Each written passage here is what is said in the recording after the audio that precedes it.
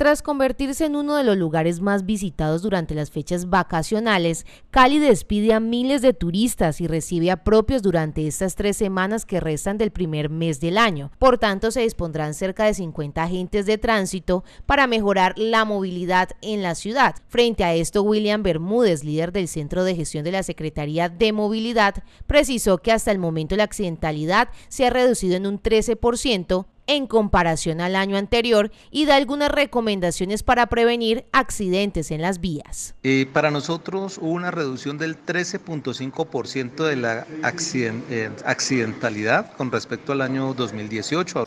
Medir la velocidad es a través de elementos tecnológicos. En Santiago de Cali tenemos 40 fotodetecciones. A través de las fotomultas es una de las que más se evidencia.